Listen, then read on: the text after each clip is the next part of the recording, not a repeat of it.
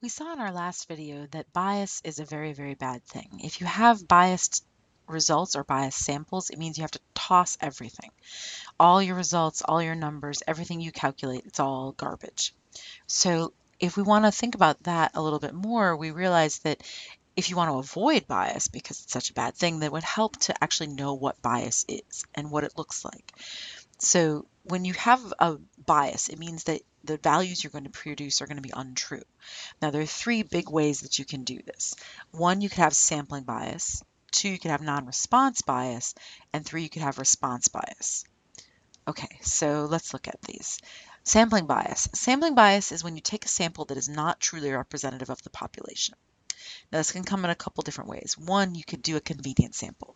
Convenience samples are a classic way to just completely ruin your data set. These are the kinds of things that they do on all of the TV shows where you call in for your favorite dancer, call in for your favorite singer. It's a convenience sample. Only the people that care enough to call and pay for the money to, for the call, etc., are going to bother to call.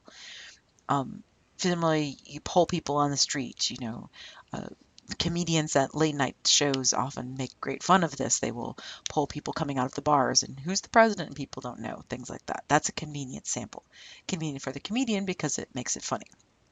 Now, an incomplete frame is when you have a list of people, but your list is not complete. So let's say I wanted to call all the people in the US, but I accidentally have every phone number in New York not on the list. That would be an incomplete frame. That wouldn't work. Or if I want to call all JC students, but all the Hillsdale students are not on the list, for example, or all the female students are not on the list, or whatever. That would mean that your your list frame is just a big, it's a fancy name for list.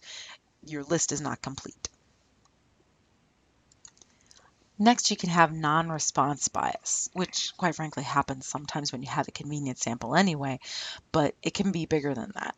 So it's when people don't respond or don't um, send back the survey, send back the questionnaire, that kind of thing. So for example, if you're called up and they say, hey, this is a poll, and you hang up on them, you might be a different person than the kind of person that would sit there and talk to them and answer their questions. Now, there are ways that you can limit non-response. You can never actually make it disappear entirely because you're always going to have people that hang up, you're always going to have people that don't return the surveys, etc. So what you can do is you can offer rewards, incentives, things like that.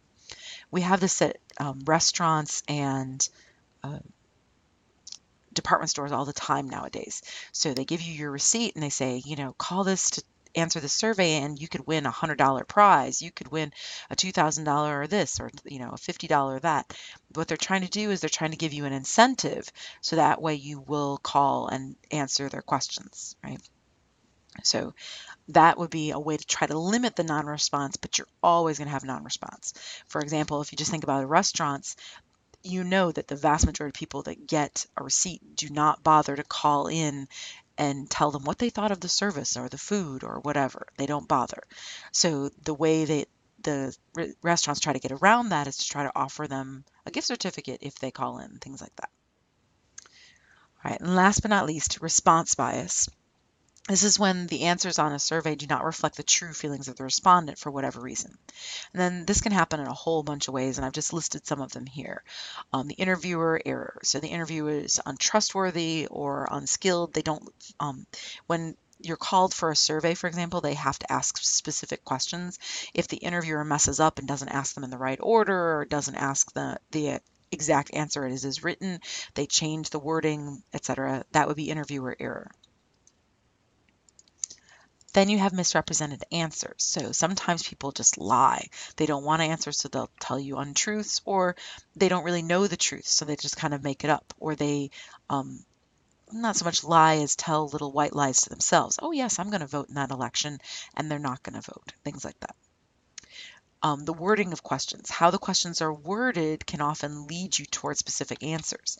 This has happened to me a lot in my life. I'll, I'll answer the phone and it's a polling station from a Republican Party or a Democratic Party, and you can tell in the way that they ask the questions. You know, don't you think that gun rights should be protected?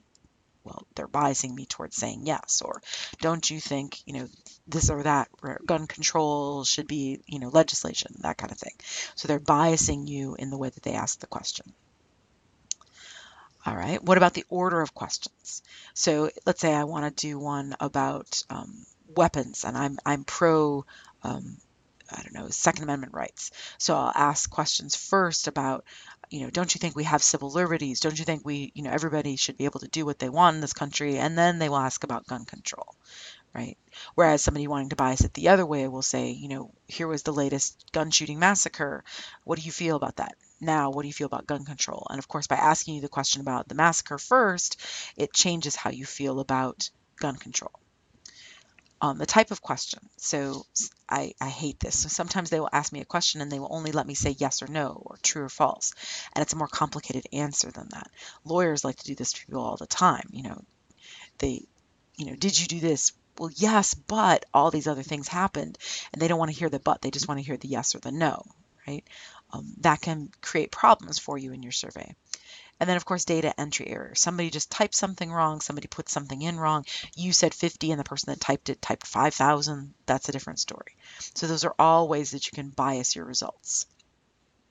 Now, keep in mind that sampling bias and sampling error are not the same thing. Sampling error I talked about back here, sampling error, it's resulting from the fact that you are taking a sample. Once you take a sample, it is not perfect. And since it's not a perfect representation of the population, you're going to have sampling error, right? Your, your sample is always a little bit off, right? Okay, whereas sampling bias is something totally different. Sampling bias means you've done something wrong, right? So sampling error is from the fact that different samples, um, different results will come from different samples. No sample is a perfect representation of the population.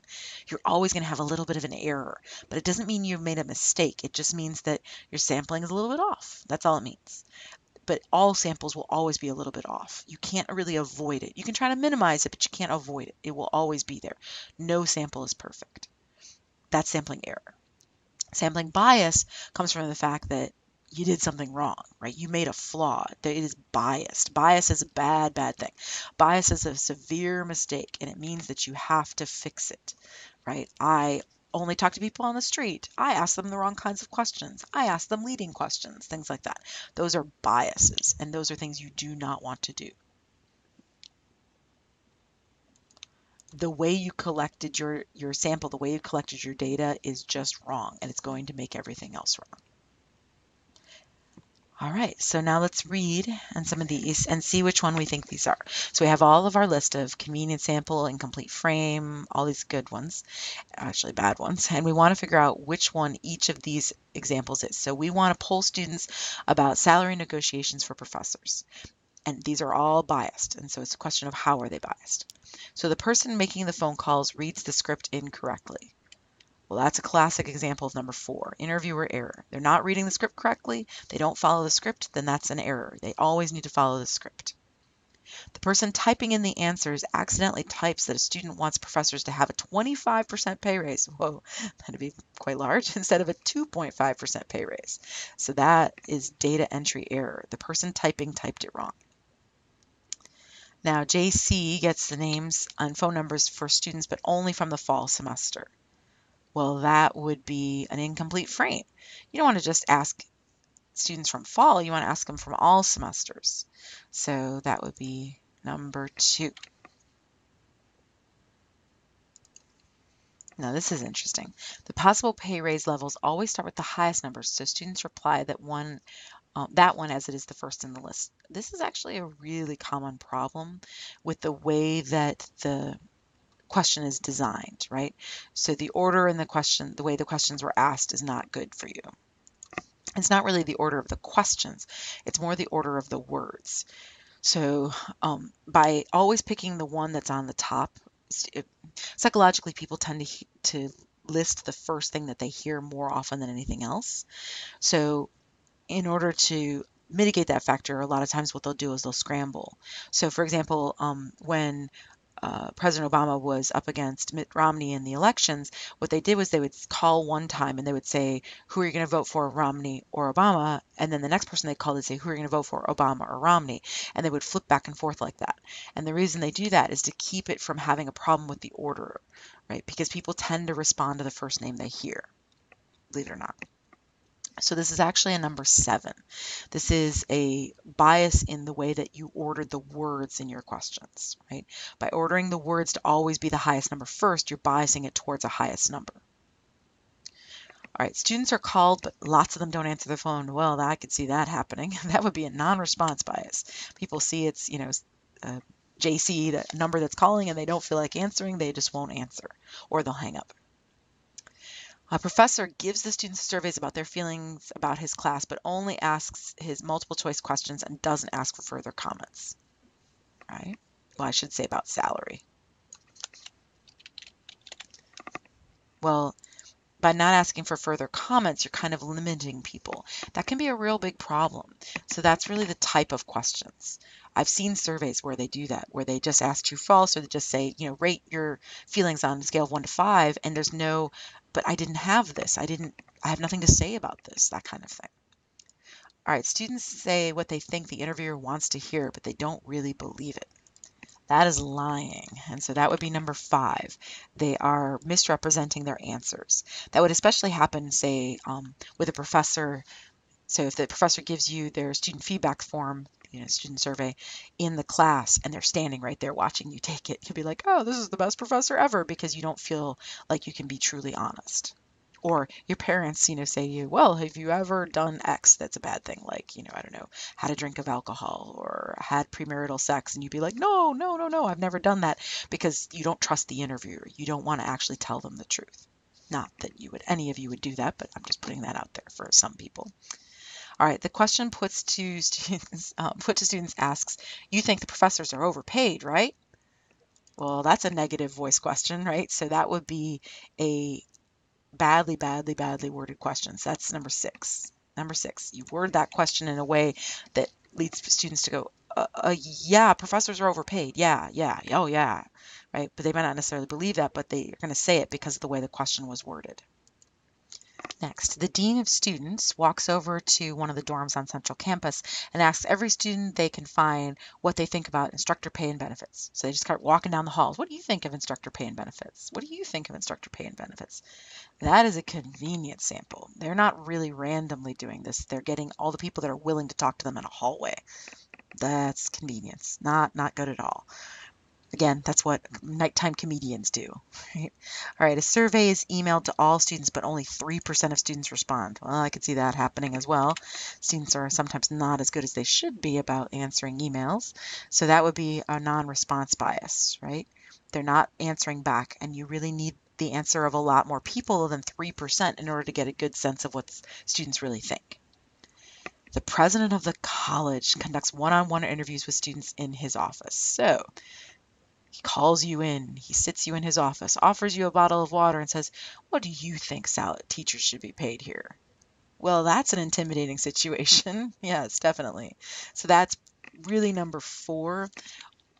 Number five is actually probably going to result from this. Number five will result from this because the student will be intimidated.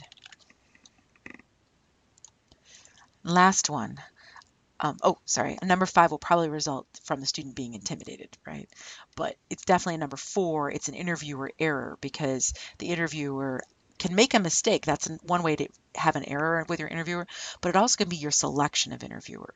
If you're having a person who's invested in this and can has power over the student, then you're making an error in who you chose to be the interviewer.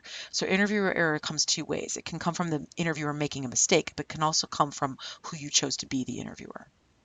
And last but not least, a survey sent out by administration asks you to list any issues you have with instructors on campus. So tell us all your problems with instructors. And then asks you about what you think they should, whether that you think they should deserve raises. So tell us all your problems with all your teachers. And then do you think they deserve raises? Well, of course, because you've been given that negative mindset in that first bit, you're going to say they don't deserve anything because I'm thinking of all the problems I've had and not all the good things I've had with my professors. So that would be number seven, which is um, the wording of the questions. By first giving you wording that's negative about professors and then asking you about their pay raises, you're biasing your results in that way. And we're all done with section 1.5.